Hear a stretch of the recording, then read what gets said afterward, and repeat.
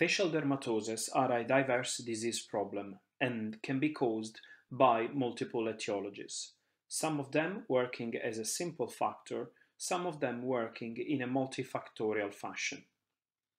They are characterized by various clinical signs and lesion distributions. For example, facial folds in specific breeds constitute an area prone to maceration and microbial overgrowth, whereas in other breeds, the mucocutaneous junctions can be affected by various immunomediated autoimmune diseases.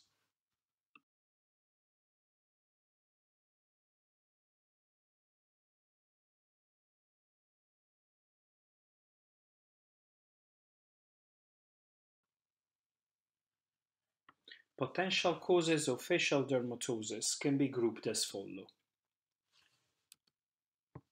Among infectious causes, canine acne is relatively common and seen in specific breeds such as short-coated dogs like Great Dane, Dobermans, Boxers, or Mastiffs. And uh, it is characterized by multiple uh, papules and pustules affecting the chin. Mucocutaneous pyoderma is less common and controversial and uh, um, can be due to multiple etiologies with uh, generally um, lesions present at the level of the mucocutaneous junctions that respond to antibiotic treatment. Common conditions affecting the face include, and uh, that can be seen in many individuals, um, include dermatophytosis, malassezia dermatitis, demodicosis, and sarcoptic mange. On the other side, deep mycosis um, are less common and might be seen mostly in immunocompromised individuals. Hypersensitivity disorder are also common and uh, they are uh, generally seen in first opinion practice, especially atopic dermatitis and or uh, food hypersensitivities. Um, less commonly, conditions still characterized by a hypersensitivity reaction include contact dermatitis or, specifically when an acute onset is involved, another condition can be eosinophilic furunculosis of the face, which is believed to be caused by insect or spider bites.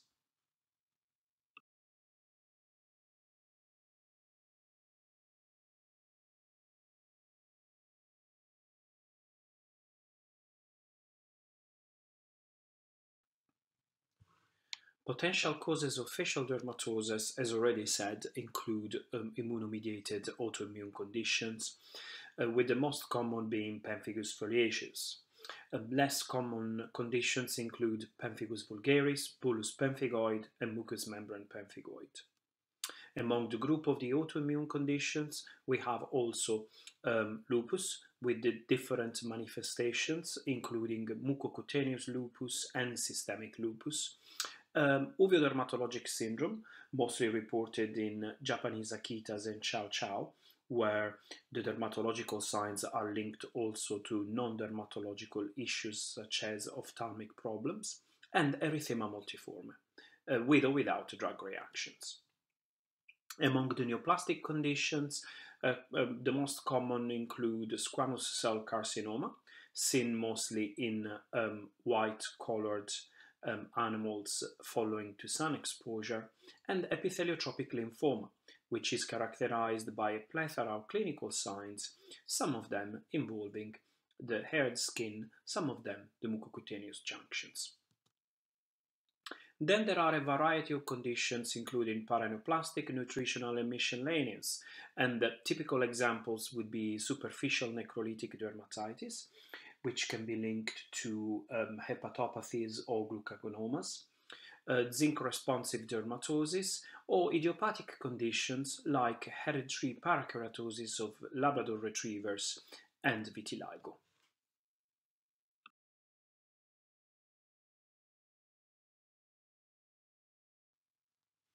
A rigorous and methodical diagnostic approach is very important, and this includes fundamental including history taking, a clinical examination, which is both general and dermatological, and making a list of differential diagnoses. The use of specific diagnostic tests can help restricting the list of differentials, reach a diagnosis, and evaluate the treatment options.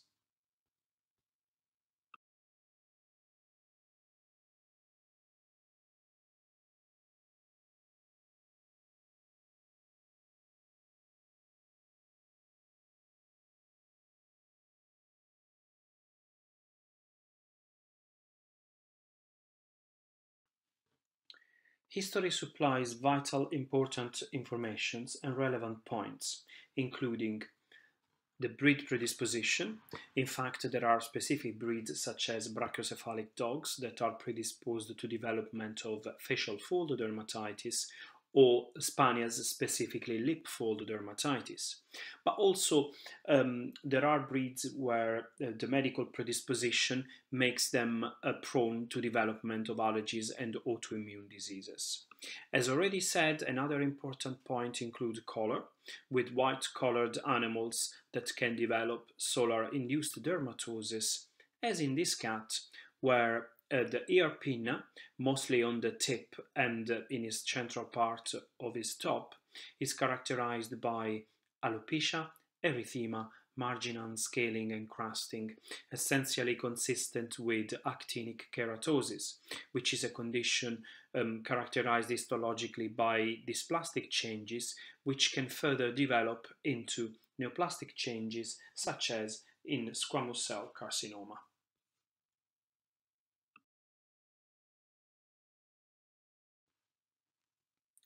Age at onset plays also an important role. In fact, in puppies, um, the majority of conditions will have a basis that is either genetic or parasitic infectious. And in young adults, uh, the most common conditions affecting the face will be allergies, parasites, infectious, or nutritional. Neoplastic, metabolic, or autoimmune conditions instead are mostly seen in middle-aged to elderly patients. Sex is also important, with, um, for example, entire male cats being more susceptible to trauma and secondary infections, including retroviral diseases.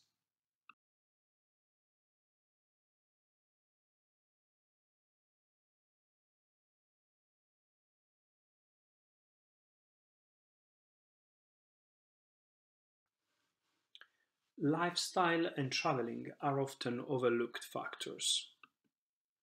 For example, in young animals or those that live in groups, um, exposure to um, infectious organisms such as dermatophytes um, can play an important role, as well exposure to wild animals that can transmit ectoparasitic diseases such as sarcoptic mange from foxes.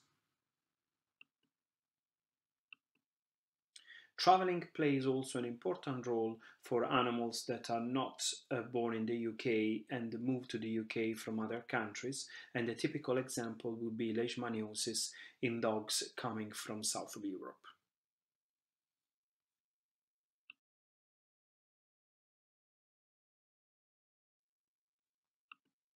A good knowledge of dietary resources is very important, especially if we need to institute food trials or to evaluate the nutritional profile of ingredients in cases where we suspect nutritional dermatosis. It's also important to, uh, to have a knowledge of the previous conditions, for example, gastrointestinal problems, which might lead to a diagnosis of uh, food-induced skin disease, uh, or ocular problems and respiratory problems, which might be especially helpful in cats. Um, a previous history of drug exposure is also very important because on one side can lead us to again narrow the list of differential diagnoses. For example, response to anti-inflammatory doses of corticosteroids might be suggestive of an allergic disease rather than an infectious disease, or repeated exposure to topical medicaments in the ears, um, followed by lack of resolution or worsening of the clinical signs, might be suggestive of contact dermatitis. Additionally, it is important to be aware of any potential reactions to drugs happened in the past in order to avoid future exposure.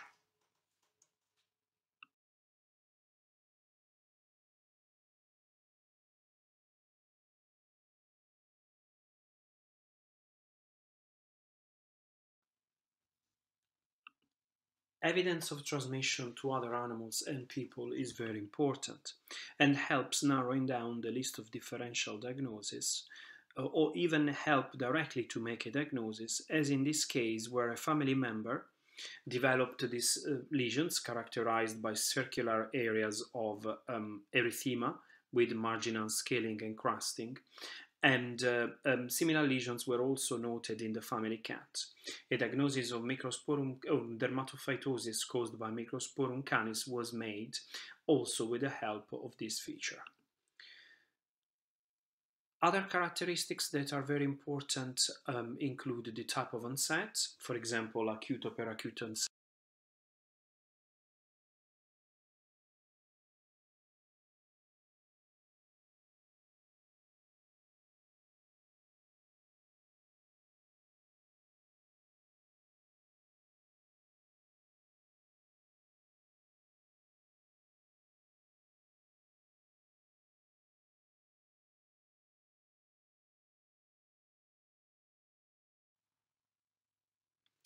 General clinical examination is of paramount importance, especially because it enables us to look for signs associated potentially with paraneoplastic or metabolic diseases such as vomiting, diarrhea, polyuria, polydipsia, or to other conditions, for example, leishmania or systemic lupus, specifically looking at lymphadenopathy, um, uveitis, epistaxis, or simply poor general condition. Once again, in cats it's especially important to evaluate the presence of respiratory signs. This is an example of a, um, a dog affected by leishmaniasis um, living in the south of Italy. Um, this dog developed initially uh, bilateral uveitis, but other signs present included lymphadenomegaly and epistaxis. And uh, um, further in the course of disease, he developed also necrosis of the uh, tips of the ear pinna. The most important parts of a dermatological examination are as follow the analysis of lesion distribution and the analysis of type of lesion. In particular, lesion distribution can be helpful because while there are some conditions that will affect only the haired skin, um, such as dermatophytosis or demodicosis, other, for example, autoimmune conditions, might affect both the haired and the non-haired skin, including the mucocutaneous junctions and the oral cavity. The of lesions can also help to discriminate between different conditions.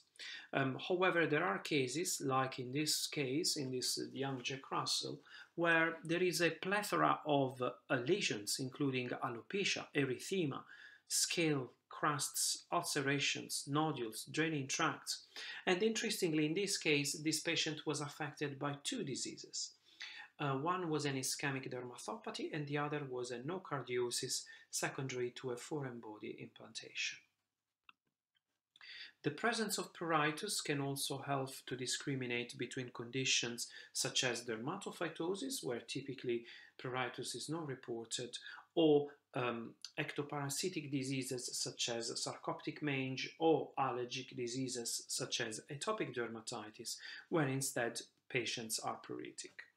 In this case, it is, however, important to highlight that the discrimination between pruritus and non-pruritic conditions can be arbitrary. The involvement of other areas can also lead to analyze the patient and identify the possibility of conditions that have a more generalized uh, distribution. From now on, a series of clinical cases will be presented, reviewing signalment, clinical history and dermatological examination, following by diagnosis and a brief discussion.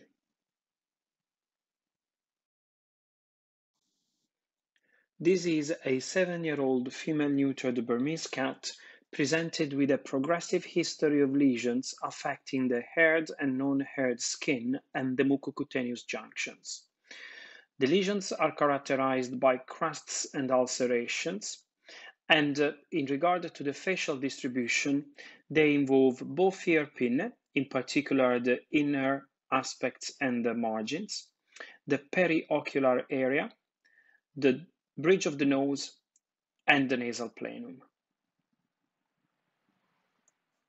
Other body areas are involved, including the mammae, uh, where noticeable yellowish crusts are present. Pemphigus foliaceus is the most common autoimmune skin disease. Is seen more commonly in dogs than in cats. And in cats, there is no breed predisposition described. They can occur at any age starting from one year, one year of age with a median of five years. Lesions are normally pustules and crusts, with the pustules less commonly seen in cats than in dogs. And, as in dogs, lesions are often characterized by a striking bilateral symmetry. This one-year-old entire male Labrador Retriever was presented with an acute onset of erythema and pruritus, affecting the periorbital area with ocular discharge and prima primary conjunctivitis with secondary blepharitis.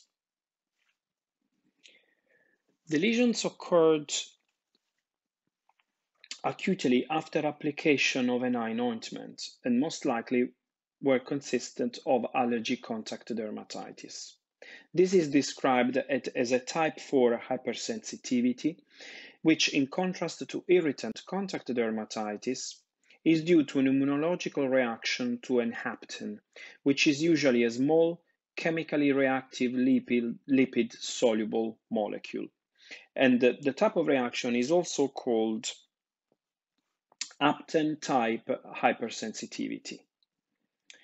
Normally, these conditions appear acutely and are manifested with erythema, macules, papules, and more rarely vesicles.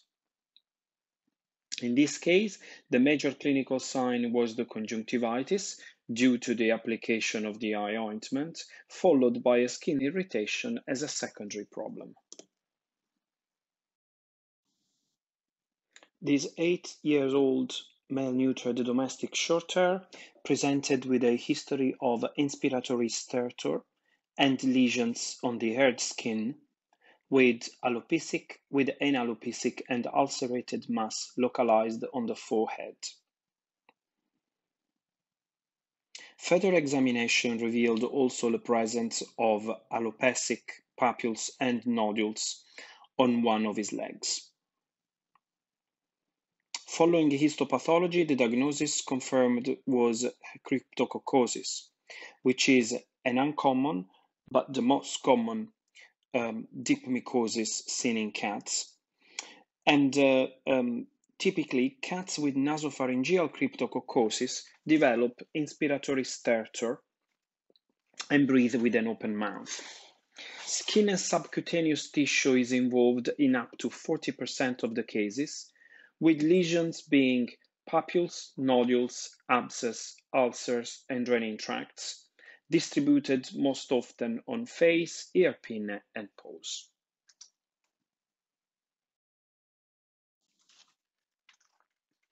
A two-year-old entire male Samoyeds presented with a history of acute onset alopecia with uh, coalescing papules, nodules, and plaques superficially ulcerated, delimitated mostly to the dorsal bridge of the muzzle and affecting only the haired skin. The condition involved also the margins of the ear pinna with presence of crusting and small ulcerations. The clinical signs appeared acutely within one to two hours after a walk in a rural area. And uh, the combination of history and clinical features suggested a most likely diagnosis of eosinophilic furunculosis of the face, which is believed to be an immunological process secondary to insect or spider bites.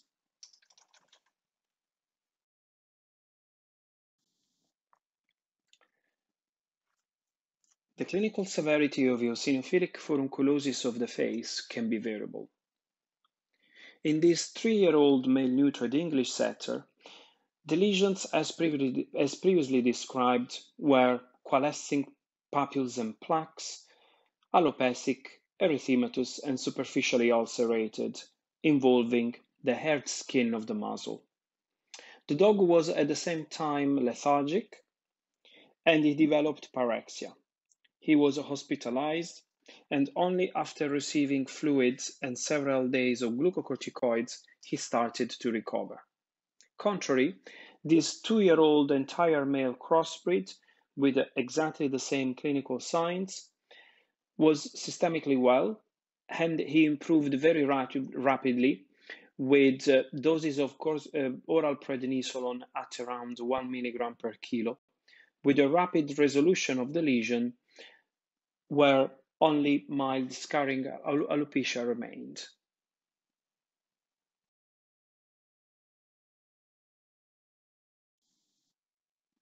This three months old female Staffordshire Bull Terrier was presented with a progressive history over a few days of alopecia, plaques, nodules, and ulcerations involving the dorsal muzzle, the chin, in a symmetrical fashion the periocular areas, and the ear pinna. He had also um, enlargement of the peripheral lymph nodes.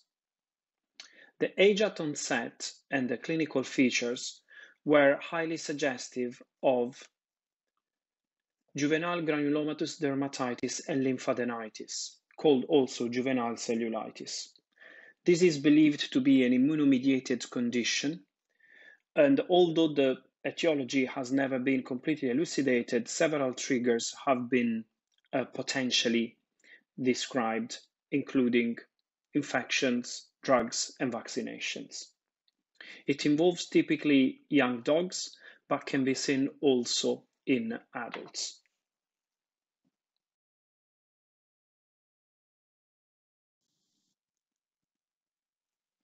A two-year-old male-neutered Tibetan Terrier presented with pruritus and alopecia, with hyperpigmentation, lichenification, and erythema, interesting solely the periorbital skin.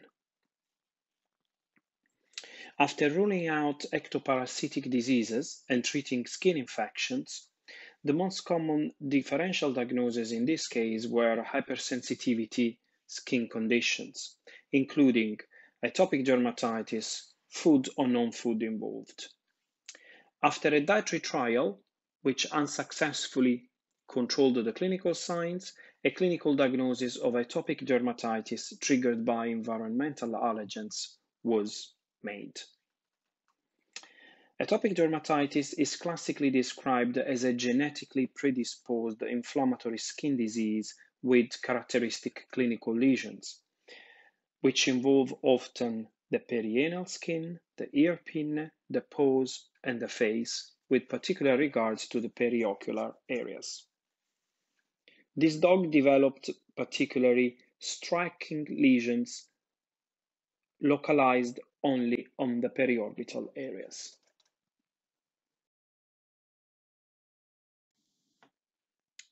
A five-year-old male-neutered domestic shorthair presented with a progressive history of ulcerations and crusting affecting the, the non-haired skin of the nasal planum. There was no previous history of skin disease and no evidence of pruritus.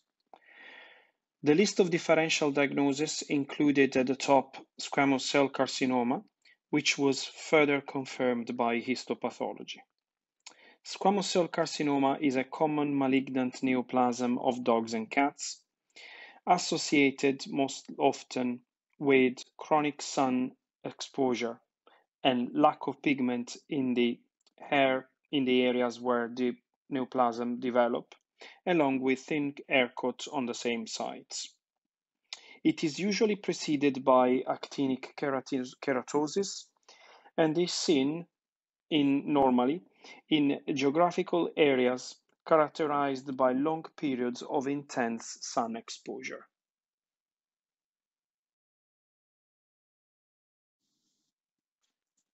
This one-year-old male-neutered domestic longhair presented with ulcerations and hemorrhagic crusting localized to the mucocutaneous junctions of the eyelid and of the nasal planum.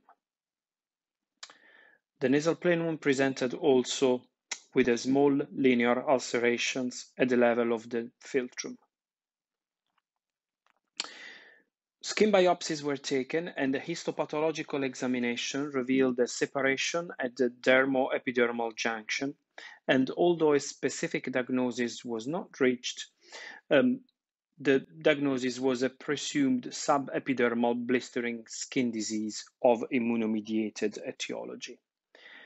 Um, a course of oral corticosteroids at immunosuppressive doses led to a rapid improvement, and to date, uh, pulse therapy with low doses of corticosteroids have kept the condition under control.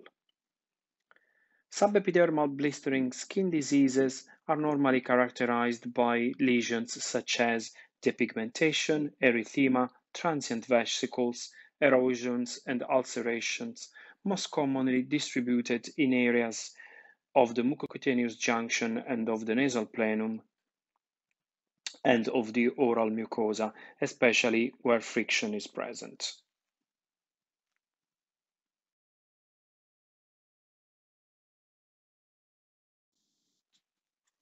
A four-year-old male German Shepherd dog was presented with a history of pruritus and skin lesions affecting the haired skin of the face, particularly localized on the periocular areas and dorsal muzzle, consisting in alopecia and erythema. As previously said, the lesions were pruritic, and this dog also presented with gastrointestinal problems, consisting in increased defecation, tenesmus, and sometimes diarrhea. An elimination diet performed by using a hydrolyzed commercially available diet resulted in reduction of the clinical signs and every challenge led to an aggravation of the problem. A clinical diagnosis of adverse reaction to food was made and uh, long-term treatment with the, the specific hydrolyzed diet um, maintained the clinical signs under control. Clinical signs of adverse reaction to food, as in this case, um, can be identical to those of atopic dermatitis, and this is dog in particular, the lesions were only uh, facially distributed.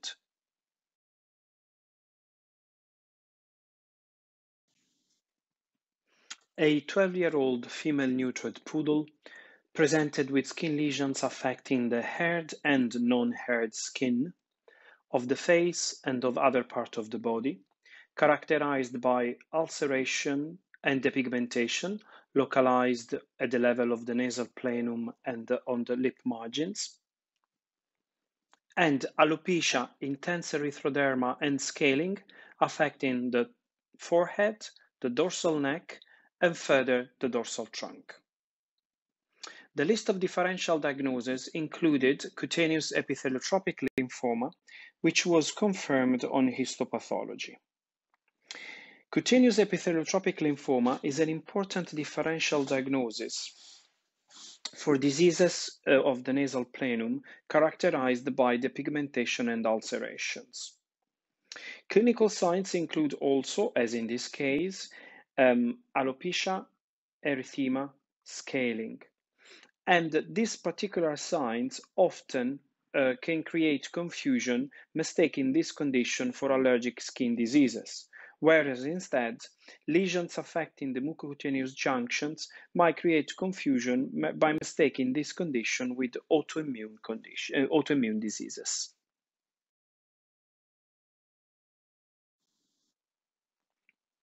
A four-year-old male-neutered Springer Spaniel presented with a history of progressing ulceration nasal planum and the footpads of all four feet.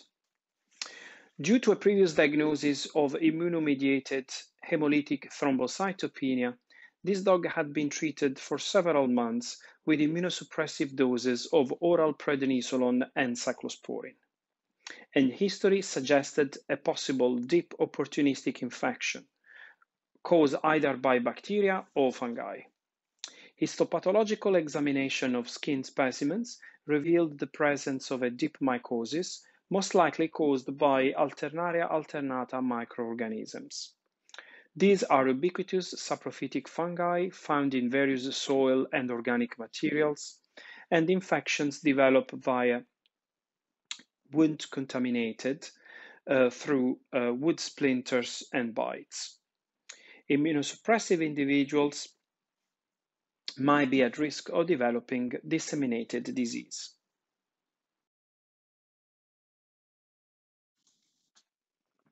A five-year-old female-neuter German presented with a history of ulcerations affecting the mucocutaneous junctions, both on the haired and non-haired skin, mostly at the perioral skin. There was no previous history of skin disease, neither other body areas were affected. There was a rapid response to oral corticosteroids with relapse after discontinuation. A CT scan examination of the oral cavity and of the neck revealed the presence of a laryngeal carcinoma. And uh, skin biopsies of the skin lesions revealed a histo histological features consistent with erythema multiforme. Erythema multiforme is a condition uncommon in dogs and rare in cats, characterized by either acute or chronic onset of an inflammatory reaction, histologically described with apoptosis, which means cell death, and lymphocytic satellitosis. It is manifested with various clinical signs, including ulcerations, and trigger factors described include drugs, food, neoplasia, infections, but a large variety of cases can be idiopathic.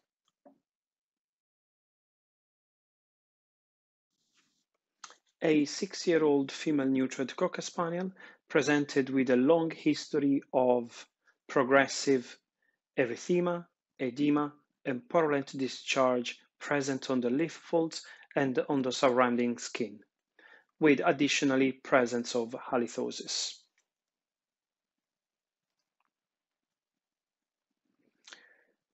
The bit predisposition and elimination of other causes led to a diagnosis of lip fold dermatitis, which, as previously described, is due to a conformation of the region which can predispose to friction and secondary microbial overgrowth and infections. In this case, intense topical therapy and followed by regular cleansing led to um, resolution and control of the condition.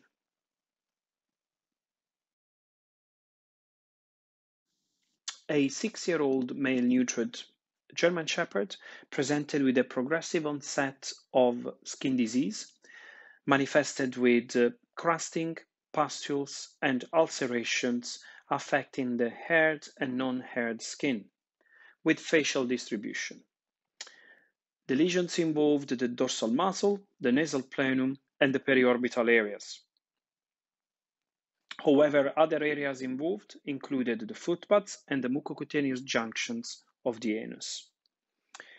The list of differential diagnoses included pemphigus foliaceus and cutaneous lupus. And further tests confirmed a diagnosis of pemphigus foliaceus. This is the most common type of pemphigus seen in dogs, and it is immunologically characterized by autoantibodies targeting adhesion molecules between keratinocytes.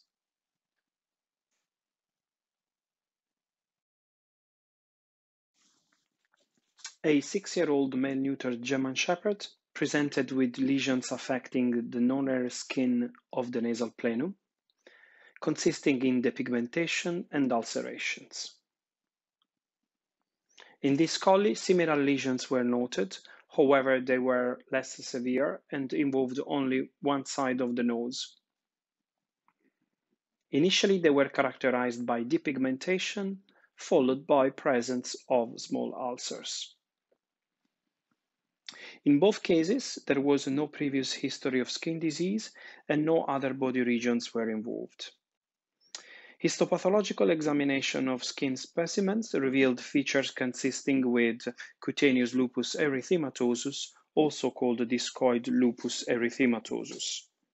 This is the most common type of autoimmune disease causing lesions on the nasal planum, and both German Shepherds and Collie are described as potentially predisposed.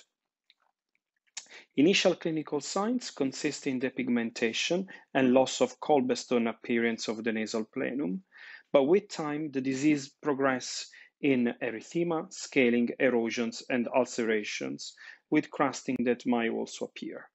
Although the condition um, is very likely affecting the nasal planum, other body areas are also being described.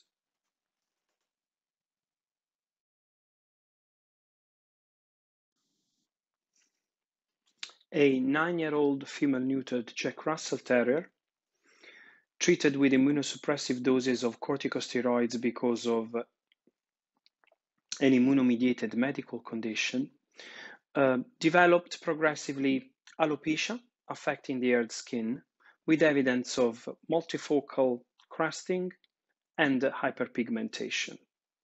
Very mild subtle crusting and scaling was also noted. The outdoor lifestyle of this animal and the immunocompromised status suggested a possible infectious disease, and uh, further testing, including uh, dermatophyte culture, revealed um, a dermatophytic growth of Trichophyton mentagrophytes species. This type of dermatophytosis um, can be, can be um, frequently acquired by animal um, in contact with wildlife, especially rodents and hedgehogs. And Trichophyton mentagrophytes species are the most commonly isolated from the face.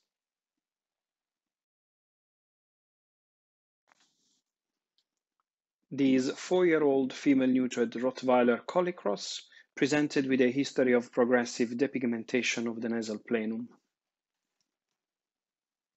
The list of differential diagnoses was vast, inclusive also, inclusive also of vitiligo, which was further confirmed, confirmed on histopathology. Vitiligo is an acquired immunomediated skin disease associated with melanocyte destructions, which result in areas of leukoderma with or without leukotrichia.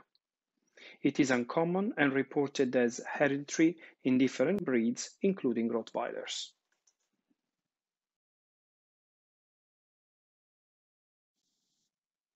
A five-year-old entire male crossbreed imported from south of Italy developed progressive depigmentation of the nasal planum, followed by systemic signs such as white loss, polyuria polydipsia, and peripheral lymphadenopathy. The history and clinical signs made cutaneous leishmaniasis a possible differential diagnosis, and this was further confirmed by laboratory findings. The disease is caused by protozoa called Leishmania infantum, and dogs imported from endemic areas might develop the condition months or years later. It is transmitted to humans and animals by blood-sucking sandflies of the genus Phlebotomus, and is typical in the Old World of southern European countries.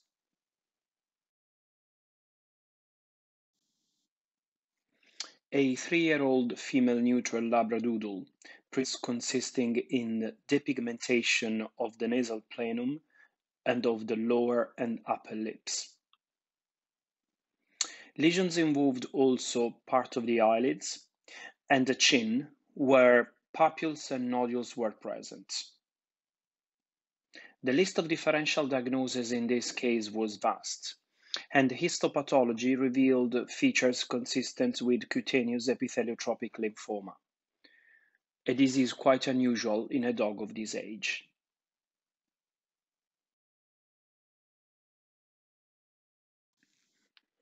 This one-year-old male-neutered domestic shorthair presented with a skin condition manifested as erythema, excoriations, alopecia, and pruritus, affecting the haired skin mostly on the face and ear pinna. A close-up reveals an area of erythema with excoriated papules above the eyelids. The list of differential diagnoses in this case included parasitic diseases, allergic skin diseases, as well as dermatophytosis. By ruling out some of the differential diagnoses, we'll, we reach the, a diagnosis of feline atopic dermatitis.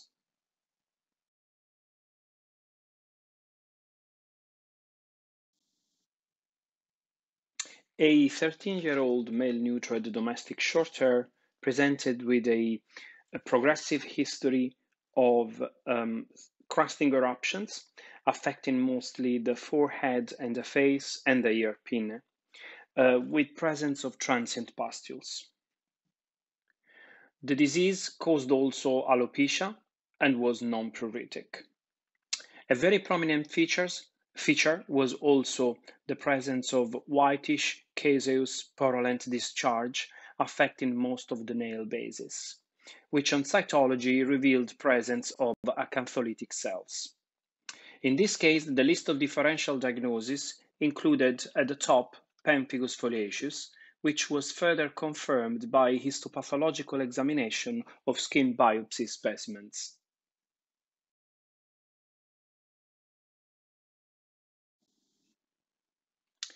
Papular nodular lesions, soft on palpation, with mild alopecia and erythema, were described in this three-year-old male-neutered domestic short-hair cat. Further history revealed also presence of mild pruritus and overgrooming.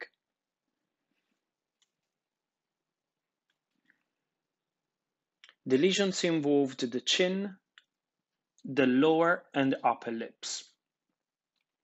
In this case, the, the, list of differential diagnoses was vast. History suggests also that treatment with oral glucocorticoids led to nearly complete resolution, with flares after discontinuation. A histopathological examination of skin biopsy specimens revealed features consistent with the eosinophilic granuloma complex, which is a common cutaneous, mucocutaneous, or oral mucosa uh, type of lesion reported in cats. It is described as a cutaneous reaction pattern to different triggers, including, including allergies and infections.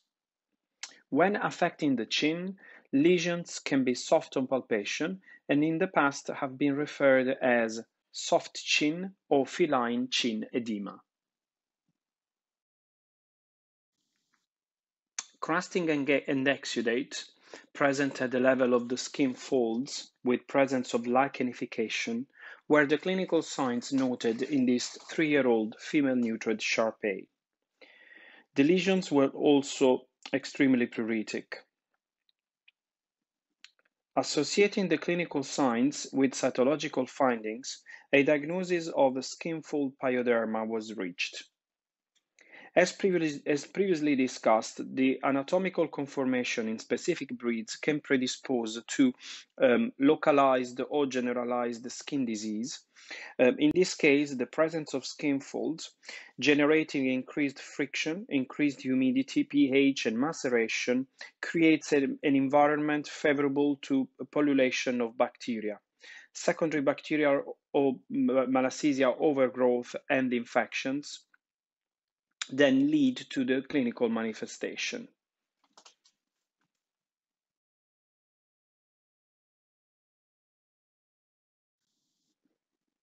This one-year-old entire male Dogue de Bordeaux was presented with a condition characterized by alopecia, erythema, hyperpigmentation, and comedo formation affecting the haired skin.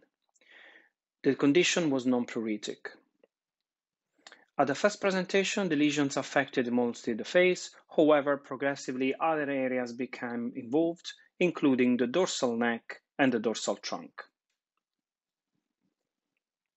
Breed predisposition, history, and age at onset made the diagnosis of juvenile demodicosis high likely, and this was further confirmed by examination of skin scrapings. Canine demodicosis is a parasitic condition caused by excessive multiplication uh, in hair follicles and sebaceous glands of the otherwise host-specific mite Demodex canis.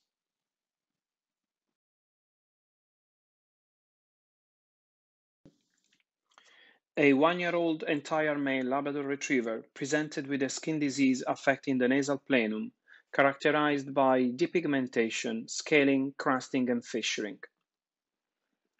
Another young Labrador Retriever presented with similar clinical signs with more severe depigmentation and crusting. In both cases, the list of differential diagnoses included diseases such as cutaneous lupus erythematosus and, due to the young age at onset and the breed predisposition, hereditary nasal parakeratosis of Labrador Retrievers, which was confirmed in both cases by histopathological examination of the affected skin. This condition has been reported in various countries, including UK, America, and Australasia, and is characterized by lesions affecting the nasal planum with an age at onset between 6, 6 and 12 months. It presents with typical histopathological features, and therefore histopathology is required for, for, for um, a confirmation of diagnosis. Multiple exophytic and papular nodular lesions affecting the muzzle, including the upper and lower lips, were described in this one and a half year old male neutered Irish Water Spaniel, with approximately six months duration.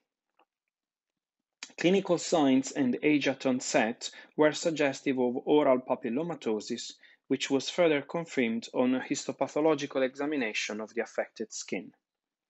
Oral papillomatosis is caused by papillomavirus infections affecting the lips, the oral cavity, and sometimes the tongue, the palate, and epiglottis. This condition is seen in young dogs and starts normally with a soft, smooth, plaque-like lesion, which then can evolve into a cauliflower-like lesion. Typically, there is a spontaneous regression after a few weeks. Once a list of differential diagnoses has been carefully prepared based on history and clinical signs, each condition should be ruled in or out by carefully choosing specific tests. The most common tests used in dermatological conditions include skin scrapings, often used to detect Demodex or sarcoptic mites, Hair plucks used also for Demodex mites or to examine the hair bulb or the tips of the hair. Cytology, normally used to look for specific, specific features of infections such as pyoderma or malassezia dermatitis, or to look at the evidence eventually of neoplastic cells or acantholytic cells uh, during autoimmune mediated diseases such as pemphigus foliaceus. Bacterial culture, dermatophyte culture, skin biopsies obviously have a fundamental reason to be used in several conditions. And among allergy tests, the one utilized to rule in or out conditions include food trials and uh, uh, patch tests to specifically look at uh, allergy contact dermatitis. Other tests, such as um, diagnostic imaging techniques, including ultrasound, radiographs, CT scan, MRI scan, or hematology, biochemistry, specific cultures, or PCR can be used when uh, a systemic condition is suspected.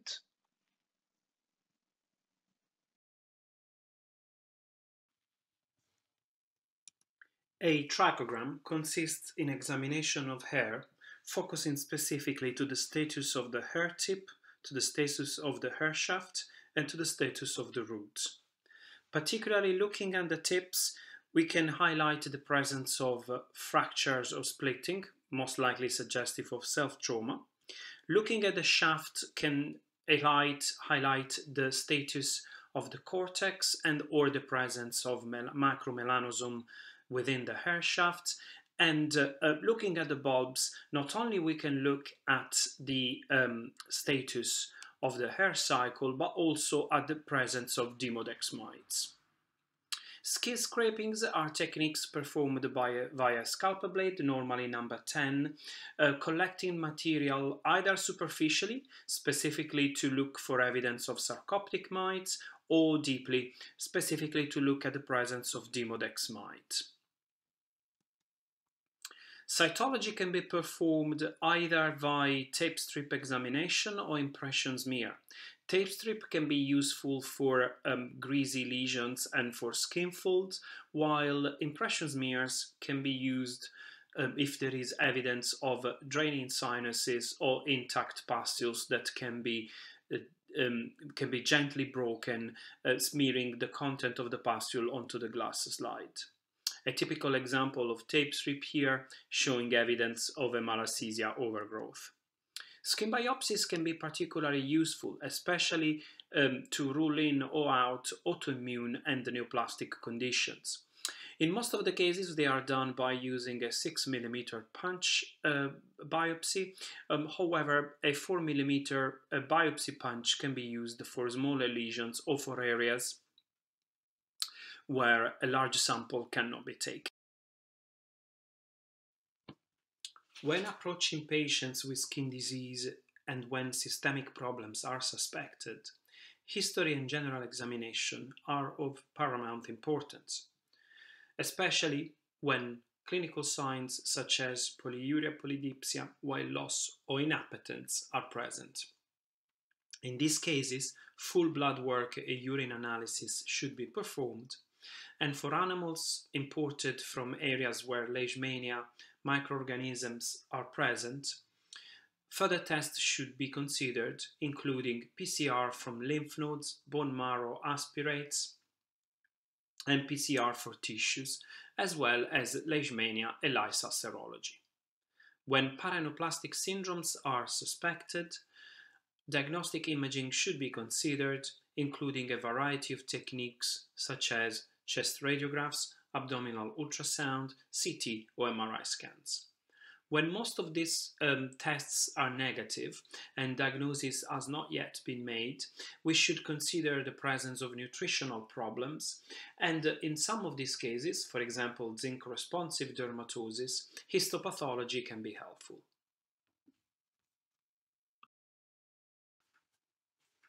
This is an example of superficial necrolytic dermatitis in a nine-year-old female-neutered West Highland White Terrier. Superficial necrolytic dermatitis is a condition characterized, like in this case, by crusting and scaling affecting often the mucocutaneous junctions of the mouth and the periocular skin. Other areas involved often include the footpads, when where hyperkeratosis and fissures can be noted. And in this case, the tail was also involved with presence of crusting. This condition accompanies uh, the presence of hepatic disease of, or, more or more rarely a glucagonoma.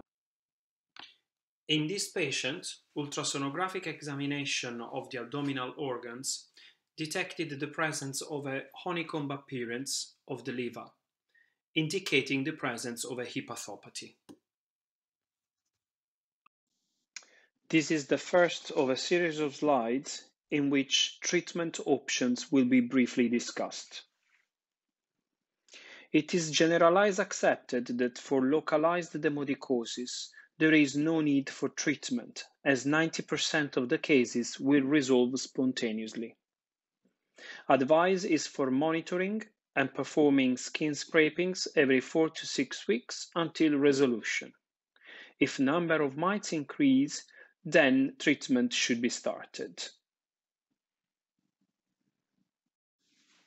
Other important considerations in treating canine demodicosis regard the evaluation of presence of deep or superficial bacterial pyoderma and it is generally advised that uh, systemic treatment is not needed uh, in most of the cases, as topical antibacterial therapy combined with good miticidal agents might be sufficient unless severe bacterial infection is present.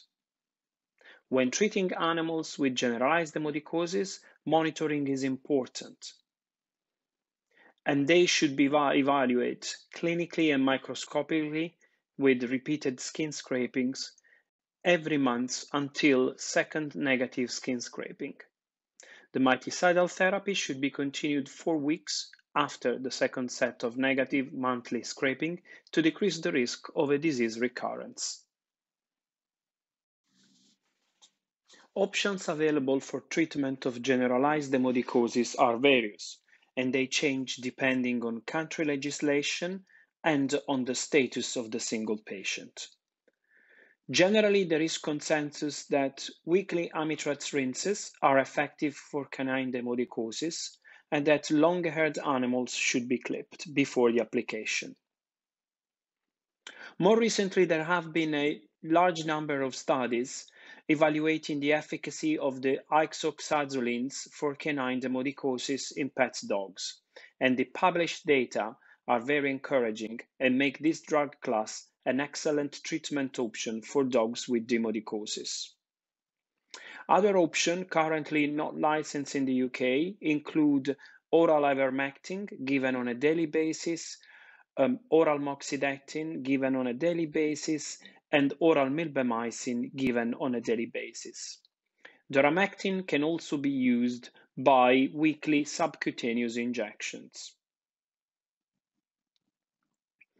When using these drugs, um, it is important to do an initial gradual dose increase uh, for systemic, specifically for systemic moxidectin and ivermectin to identify dogs sensitive to toxicoses induced by those macrocyclic lactones. Additionally, the use of topical moxidectin imidacloprid spot on should be considered but only for mild to moderate cases of canine demodicosis. Although in healthy individuals the infection may resolve spontaneously, treatment is necessary in all cases to speed up the resolution because of the risk of infection of humans and contact animals.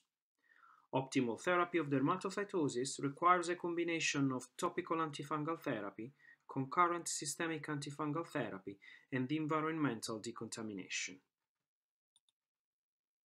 Topical therapy is important in reducing environmental contamination and works synergistically with the systemic therapy. The only product licensed for the topical treatment of dermatophytosis in cats is a shampoo containing chlorhexidine and miconazole. It is to be used twice weekly and it's important to allow a contact time of 10 minutes before rinsing it off. Other products that might be suggested for topical therapy but are not specifically licensed for cats include lime sulfur, which is used as a dips twice weekly. Enilconazole can be used as a dip twice weekly. It is licensed for use in dogs, horses and cattle, but not in cats. Anecdotal reports have stated possible toxicity, but limited experimental work has failed to reproduce these effects. It is difficult to justify this product in cats instead of miconazole, chlorhexidine, or lime sulfur. The only product licensed for veterinary use in the UK in cats is itraconazole available in a liquid formulation. The recommended regime is one week of therapy followed by one week of therapy, repeated for three weeks of treatment. The rationale of this alternate weekly basis regime is due to the capacity of this drug to be incorporated into the skin and hairs and slowly released, having a residual effect when discontinued. The product is safe to use in kittens from 10 days of age, but the manufacturer recommends avoiding the product in pregnant or lactating queens. Ketoconazole is the only licensed product in the UK for treatment of dermatophytosis in dogs. Monitoring liver enzymes during therapy is recommended, and other options include use of terbinafine. Griseofulvin is no longer licensed for small animal treatment.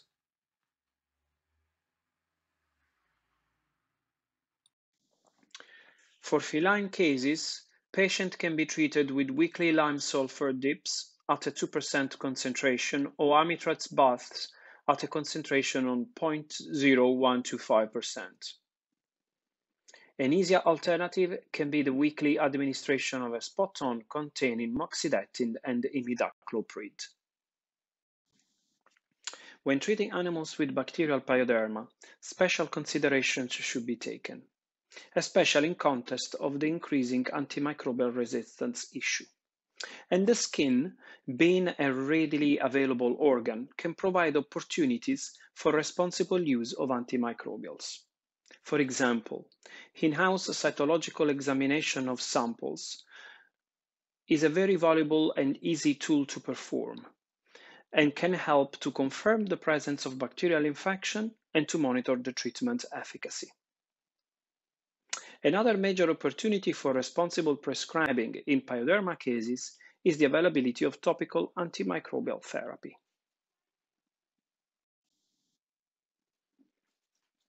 Topical therapy is very important, and there is good evidence for efficacy of chlorhexidine-based products. When treating extensive to generalized disease, treatment with shampoo, lotions, spray, and rinses, often combined together, can be very useful and should be continued until resolution. For localized disease, for example, lesions affecting the skin folds, gels, creams, ointments, lotions, and medicated wipes should be considered. When topical therapy is not possible, systemic treatment should be considered. However, there is a lack of adequately sized blinded randomized controlled trials, and treatment should be chosen based on the tier 1, 2, and 3 of the different types of antibiotics. Generally, we consider starting with tier 1, which can be chosen as empirical choice, and then moving to 2 and 3 only if culture and sensitivity results suggest the use of such antibiotics. It is generally accepted that usually for when treating superficial pyoderma with systemic medications, treatment should be continued for up to one week beyond clinical cure, while when treating deep pyoderma, for up to two weeks beyond clinical cure. It is important also to highlight that treatment of deep pyoderma should be always based on culture sensitivity results when systemic medications are used. Treatment of malassezia dermatitis is also available both in form of topical and systemic medications. Topical medications are the only one officially licensed in the UK, and there is good evidence for recommending the use of 2% miconazole nitrate, 2% chlorhexidine gluconate shampoo twice a week for three weeks. Medicated wipes additionally can be useful for facial skin infections. However, the use of shampoo should be used in the first line. When topical treatment is not possible, the use of ketoconazole or itraconazole can be recommended with fair evidence of efficacy. When dealing with viral infections, literature suggests the use of several antiviral products, including, including interferon alpha, L-lysine, imiquimod, famciclovir, interferon omega, and supportive treatment, which can be useful specifically when treating ulcerated lesions with secondary bacterial infections. Treatment of leishmaniosis is also defined with different protocols, with the drugs most commonly used including miltefosine, Glucantime antimoniate, and allopurinol, all of them used because of the antiprotozoal activity. There are several treatment options described for the treatment of cutaneous epitheliotropic lymphoma, including the use of linoleic acids, for which there is lack of standardized trials and therefore cannot be recommended, the use of topical steroids in early phase, This type of treatment in humans has been described as successful in early cases. However, there is a lack of reports on efficacy in animals, uh, perhaps because uh, early cases tend, tend to not be recognized. Mechlorethamine, nitrogen mustard, has shown a good response in early stages, however, is carcinogenic, is potentially carcinogenic for owners and therefore cannot be recommended. Oral glucocorticoids and synthetic retinoids have a palliative effect and therefore they can be recommended in specific cases. And overall, the drug that is mostly used is lomustine, which shows a response rate of up to 80%. Side effects to be considered include myelosuppression and hepatotoxicity. Radiotherapy can be used in selected cases, especially when surgical debulkment is needed. And uh, there is also availability of different multimodal protocols. However, there is no evidence that the association of different um, products um, is advantageous versus single agent therapy. In course of immunomediated autoimmune diseases, such as, for example, pemphigus foliaceus. Immunosuppressive doses of oral glucocorticoids are normally the mainstay of treatment. This can be used either with or without sparring agents that are commonly introduced in the maintenance phase in order to minimize the side effect caused by glucocorticoids. Sparring agents include azathioprine, chlorambucil, cyclophosphamide, mycophenolate, cyclosporin, the combination of ultratetracycline and niacinamide, IV human immunoglobulins, and most recently, there are reports of the efficacy in some case selected cases of oclacitinib. Topical tacrolimus is a valid agent for localized forms. Treatment of erythema multiforme is based upon identification and removal of the offending factors and on use of supportive care measures. In human medicine, the use of glucocorticoids is controversial because of the risk of sepsis. However, in dogs with severe disease, large doses of oral glucocorticoids have been successfully used with or without the use of azathioprine. Other agents anecdotally reports, reported uh, effective include cyclosporin, oclacitinib, and uh, IV human immunoglobulins. In cases of paraneoplastic disease, ideally the underlying neoplasia should be addressed. Treatment of superficial necrolytic dermatitis is symptomatic, and literature has shown only limited success. Generally, when secondary infections are present, they should be treated appropriately. And when the underlying problem identified is a glucagonoma, removal of the mass might lead to remission of signs and increased amino acids concentration. When patients have been diagnosed with an underlying liver condition, nutritional supplementation is important and palliative therapy can be done by either parenteral or oral amino acid supplementation, as well as zinc and fatty acids. This can be done by supplementing the diet with cooked or raw egg yolk or by providing high quality, high protein diets.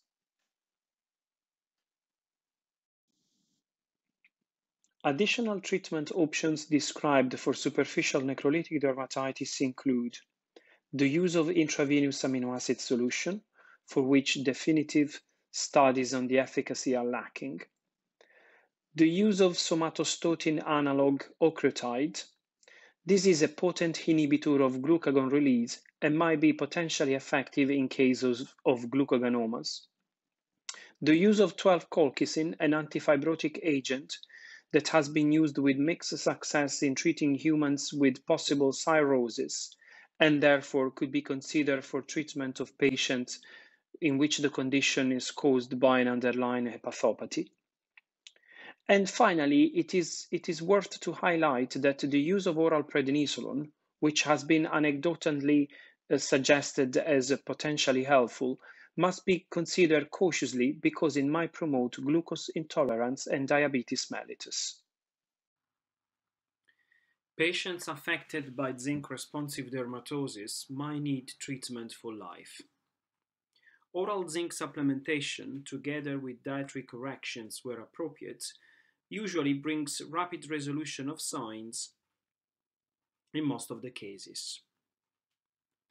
Depending on the form of zinc used, due to variation in its bioavailability, dosages might change.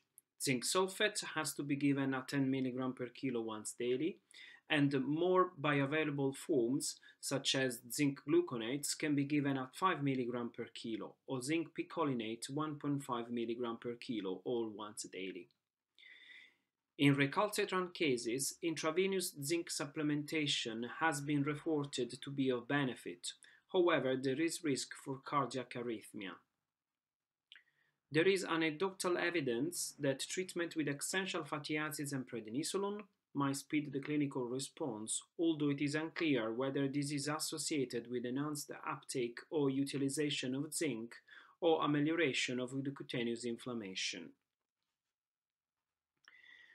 Treatment with antiseborrheic shampoos is advisable to remove crusts and scales, and antibiotics and or antifungals might be necessary to control secondary infections. Finally, when dealing for, with self-traumatic lesions, the underlying problem should be investigated and addressed. These include cases where the self-trauma is caused by allergies, by parasites, by neuropathic pain, or by behavioral disorders.